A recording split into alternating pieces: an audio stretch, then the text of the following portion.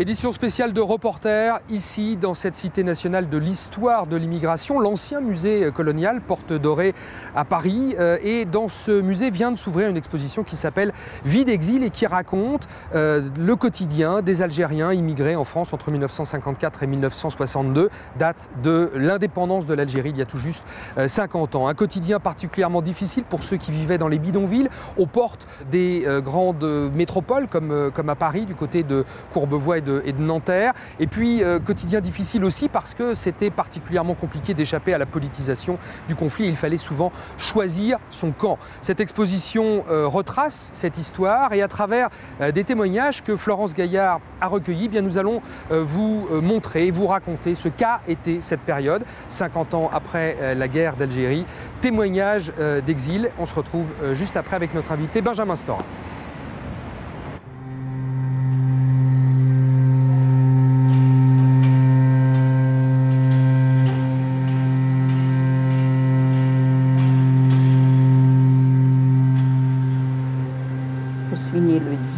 Décembre 1935 à Nanterre.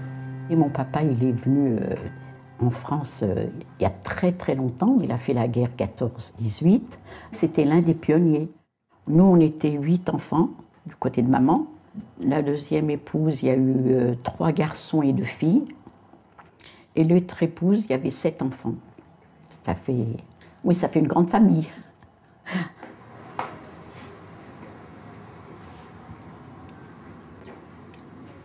Je suis né le 27 mars 1934 à Sidi département de Constantine, en Algérie. Les Algériens, ils sont rien du tout. On marche pieds nus. Moi, j'ai marché le pied madame. J'ai marché le pied. J'ai un bleu sur moi. J'ai rien du tout, pas de pantalon, rien. Il n'y a qu'un bleu sur nous. Mon père, il a été trouvé, il a joué à mère. Et il a demandé si tu peux, me demander, si tu peux prendre la responsabilité de mon fils qui va en France travailler parce qu'il n'a rien. Donc c'est lui qui m'a fait le papier, c'était lui responsable de moi pour passer en France.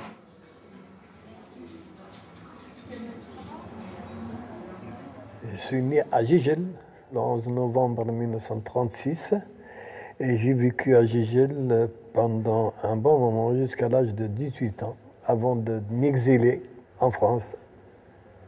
Mais à l'époque, on était complètement séparés de la communauté française. Parce que qui ne veulent pas de nous. C'est pas nous qu'on ne veut pas de Pourquoi? Parce que, bon, en termes clairs, vous êtes un bougnoul. Et les bougnoules ne sont pas acceptés. Or, quand j'ai quitté l'Algérie, j'étais recherché par la police française. Parce qu'ils savaient que j'ai pris le maquis à 24 heures et je suis descendu, mais ils ne savaient pas qui.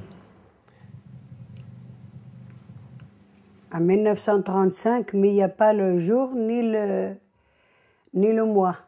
Comme il y avait un problème, ma mère, elle m'a mis au monde, elle est décédée. Ils m'ont déclaré quand, ils ont pensé, quand ils ont fini leur problème. Mon nom qui m'a donné en Algérie à une famille pour m'adopter. Et c'est eux qui m'ont amené en France. J'avais six ans. Eux, ils avaient un café-restaurant. À 9 ans, 10 ans, je faisais la vaisselle dans la cuisine euh, je faisais les chambres d'hôtel. Quand je faisais pas les chambres, j'avais 13-14 ans. Elle me peinait. Elle me dit, tu auras sans manger parce que tu n'as pas travaillé.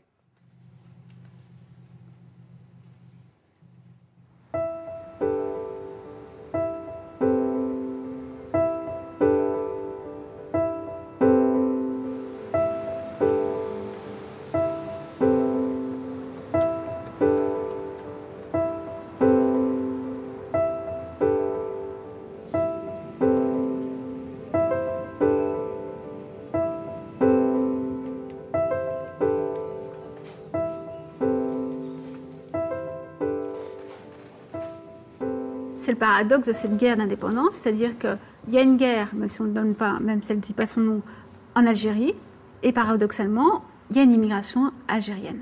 Entre 54 et 62, on a un doublement de l'immigration, pour les raisons dites, c'est-à-dire économiques, politiques et puis familiales.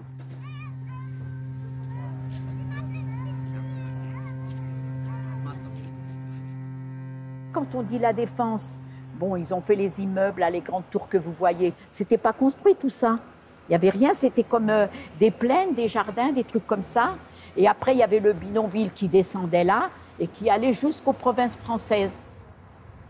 faut pas y aller avec des escarpins, hein. faut mieux mettre des bottes. Hein. Alors quand vous avez plusieurs enfants et que vous allez chercher de l'eau à la fontaine, ben, faut en prendre des seaux d'eau pour les doucher, pour les laver, pour cuisiner, pour ainsi de suite. Ces femmes, elles avaient beaucoup de mérite. Hein. Moi, il m'est arrivé de voir les enfants passer en bas de chez moi pour aller à l'école. Il m'est arrivé de, de pleurer. C'était comme si je me culpabilisais, me dire, ben moi je suis là, puis ces gamines n'ont rien, mais comment elles sont propres et tout. Et les enfants, le devoir se fait à la bougie.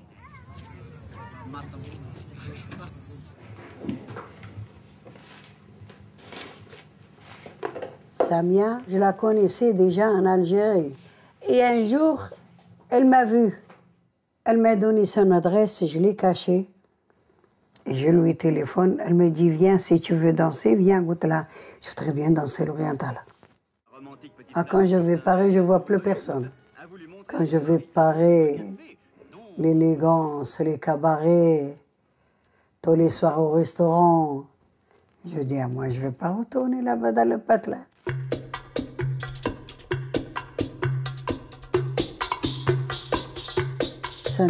M'amène au cabaret Jazair. Et moi, j'étais belle, j'étais une belle fille. Je me lève danser avec les, les gens, ils dansaient. Et Samia, elle a parlé au patron, il a dit, tu sais, cette fille-là, elle aime beaucoup danser. Il lui a dit, écoutez, c'est une très belle fille, dis-lui s'il veut répéter, faire la répétition avec les musiciens, je l'engage.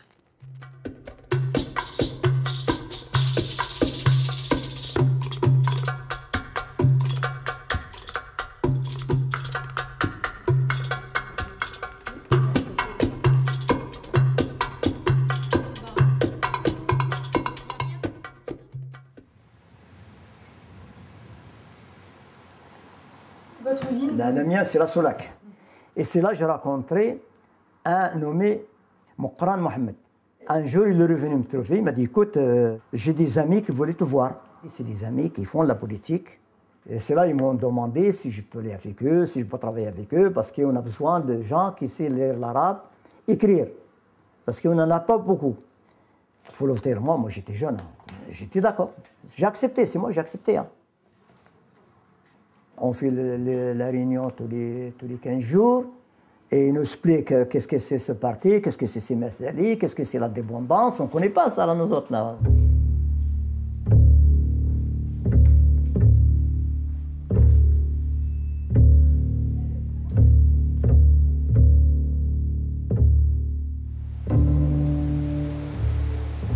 En arrivant à Grenoble, j'étais embauché chez Blancom. C'est une grande entreprise de peinture euh, nationale. Hein. J'avais des amis de, chez moi, d'Algérie, qui m'ont contacté parce qu'ils savaient que, qu'en Algérie, je suis monté au maquis. Ils cherchaient que ça, parce qu'ils savaient qu'ils étaient dans le, dans le FLN et, comme on parlait, c'était OK, quoi. Vous arrivez à quelle date en France Au mois d'août, je crois. Août 56 Oui, 56. Et en septembre, j'étais déjà engagé au FLN.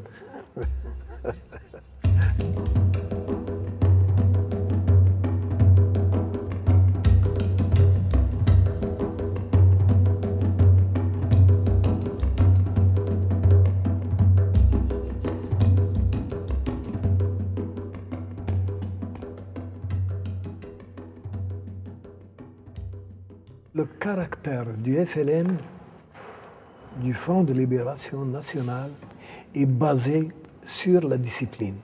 Un Algérien n'a pas le droit d'aller se plaindre à la police. Notre justice, c'est nous. Ou tu es du FLN, ou tu es contre le FLN, c'est tout.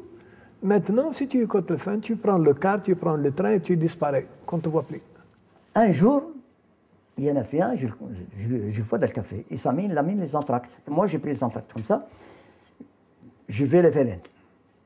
Le colère qui m'a pris, j'ai pris l'entracte là, je l'ai fait je m'achetais comme ça, je l'ai tapé sur la table.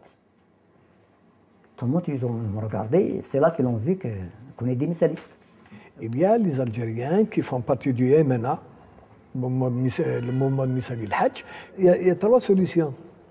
La première solution, c'est de quitter le MNA et réintégrer le FLN. La deuxième question, si vous ne voulez pas réintégrer le FLN, vous partez. La troisième position, si vous ne voulez pas, vous faites le dire, vous êtes exécuté. Et c'est là qu'ils m'ont condamné, à, ils m'ont condamné à mort. Dit Tu viens avec nous, non, on ne cherche pas à combattre, tu viens avec nous, bien tu seras condamné. Bah, j'ai dit Moi, je ne viens pas avec vous. On est, des têtes brûlées dans le temps. On n'est pas comme maintenant. Maintenant, on, est- on a quand même euh, des revenus normaux, mais avant, je te jure, hein, la mort est devant nous, on, avance. On n'a rien à foutre. Ils ont désigné quelqu'un qui m'attend de ce là Le moment que j'ai arrivé au croisement, il m'a vu. Si, il s'est pressé pour, prendre ce pistolet de sa poche. Il a, il a paniqué, le chargeur est tombé. J'ai ramassé le chargeur de, de ce pistolet. J'ai dit alors, tu es venu me tuer, tu me connais? J'ai dit maintenant, tu t'en vas d'ici, parce que tu restes ici, tes copains, il faut te tuer. Moi, tu ne me vois plus jamais retourner là. Mais toi, tu vas être tué par tes, amis.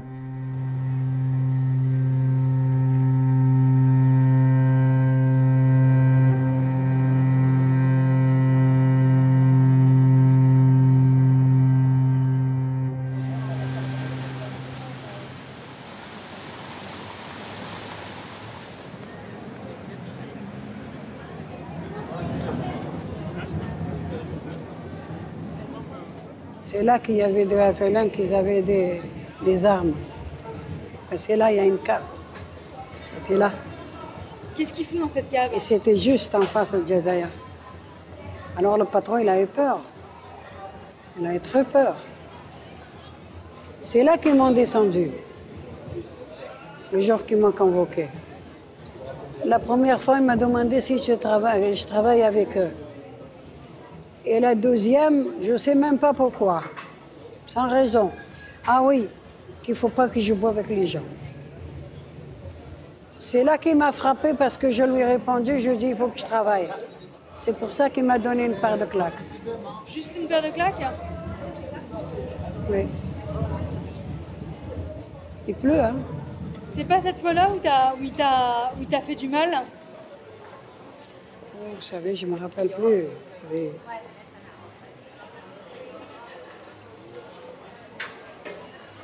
Ah, voilà.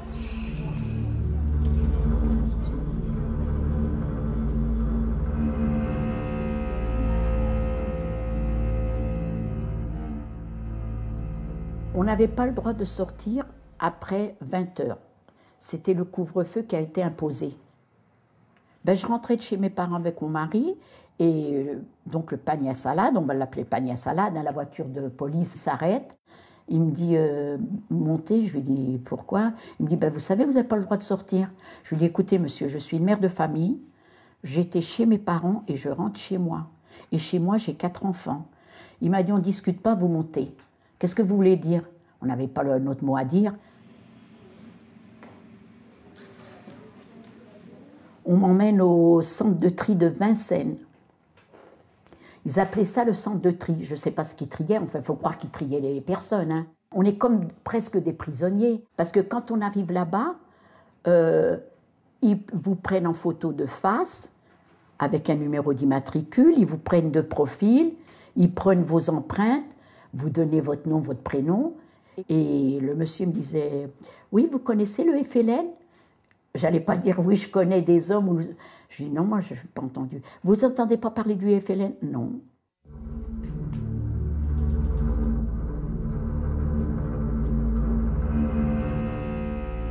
On a reçu un mot d'ordre. On nous a dit de sortir le 17 octobre 61 pour manifester.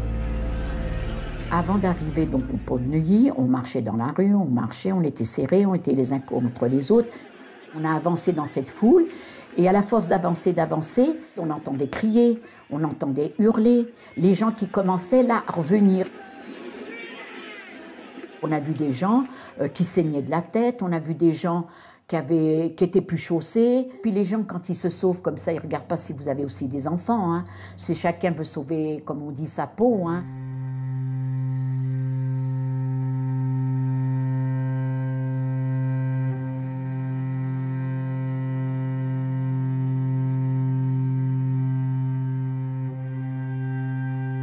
Passé ensuite Ben, Qu'est-ce qui s'est passé ensuite? On a continué. On a continué à se débrouiller, à passer par des rues où il y avait moins de personnes en essayant de, de passer par des impasses, des petites ruelles pour s'en sortir. On s'en est sorti comme ça, malheureusement.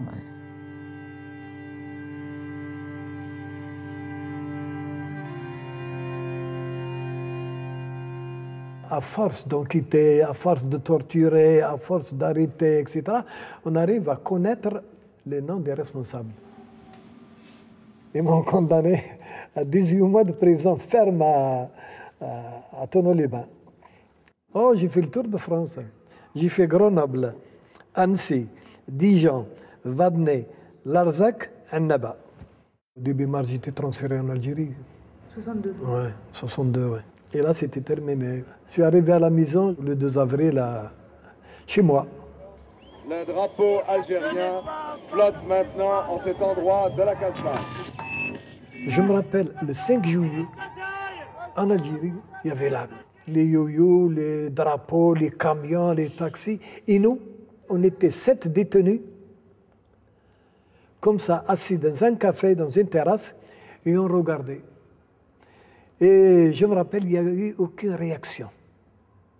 On, dirait que c'est comme un film qui passait ou c'est quelque chose de lointain.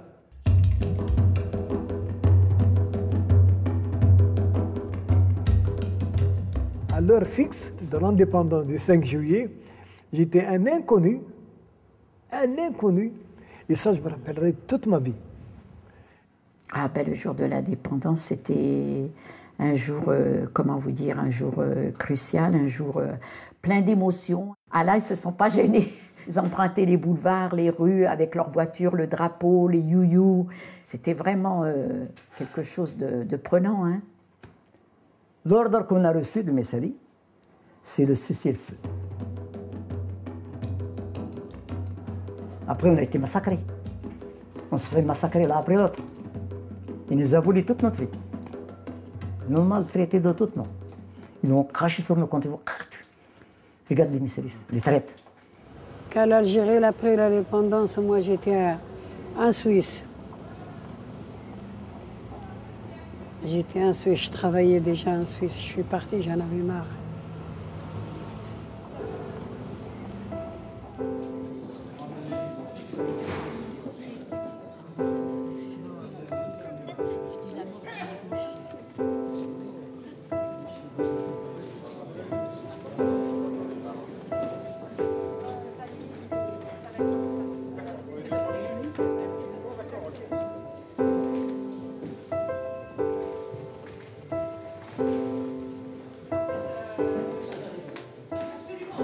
C'est magnifique.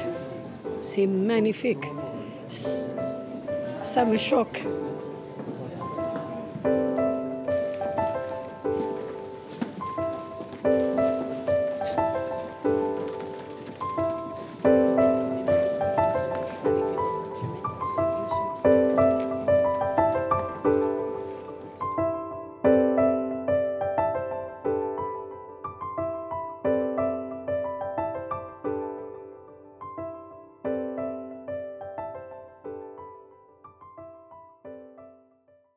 Voilà pour ce document signé euh, Florence Gaillard et on se retrouve ici dans les allées de cette exposition à la Cité nationale de l'histoire de l'immigration avec des objets euh, de cette période comme ce, bagage, évocation naturellement des porteurs de euh, valises. Le commissaire de l'exposition est avec nous, c'est l'historien spécialiste de l'Algérie Benjamin Stora. Bonjour Benjamin Stora. Bonjour. Qu'est-ce que cette exposition nous apprend que nous ne sachions déjà sur cette époque? Eh bien déjà l'arrivée ancienne de ces immigrés algériens en France dès les années 1920-1930, et puis aussi, bien sûr, le doublement de l'immigration algérienne en France pendant la guerre d'Alger. Alors, on, le voit à travers ces documents, il y a des œuvres d'art, mais il y a aussi des, photos, comme ici cette euh, photographie représentant l'arrestation d'un Algérien en, France à l'issue d'une manifestation entre Algériens. Est-ce que c'était possible d'échapper à la politisation euh, du, du conflit lorsqu'on était Algérien en France? Il était pratiquement impossible euh, d'échapper, euh, bien sûr, à l'engagement, dans la mesure où, euh, pendant la guerre, il y a un durcissement des comportements, des idéologies, il fallait être pour ou contre l'indépendance de l'Algérie. Et la plupart des ouvriers, des immigrés algériens en France étaient des partisans de l'indépendance de l'Algérie. Alors, euh, ces, partisans de l'indépendance de l'Algérie ont été réprimés. On, on sait notamment ce qui s'est passé en octobre 61. Quand je dis on sait, est-ce qu'on sait vraiment tout? Non, on ne sait pas tout. Bien sûr, il y a toujours des chantiers d'ouverture euh, d'histoire, d'écriture, bien entendu, mais quand même, les travaux des historiens notamment ont considérablement progressé toutes ces dernières années sur cet événement tragique hein, du 17 octobre 61. Alors, à l'indépendance de l'Algérie en 1962, quel choix font ces, immigrés? Font-ils le choix de, retourner euh, de l'autre côté de la Méditerranée ou restent-ils dans, dans ce pays qui n'était pas tout à fait le leur? Eh bien, une partie d'entre eux, effectivement, vont retourner en Algérie pour bâtir la nation nouvelle, séparée euh, de la France, mais une majorité d'entre eux vont rester en France parce qu'ils sont arrivés là depuis 10, 15, 20 ans pour certains. Et l'intégration s'est faite? Et leurs enfants sont nés mmh. en France. Donc, de, toute manière, même si leur cœur reste en Algérie, eh bien l'intégration sociale a commencé à opérer et donc ils vont rester en France. Merci beaucoup euh, Benjamin Stora. Euh, voilà pour cette exposition donc, que vous pouvez euh, découvrir à travers de nombreuses photos et, œuvres d'art ici à la Cité nationale de l'histoire de l'immigration. C'est Porte Dorée à Paris et c'est jusqu'au printemps 2013. On se retrouve nous la semaine prochaine pour un nouveau numéro de reporter sur France 24.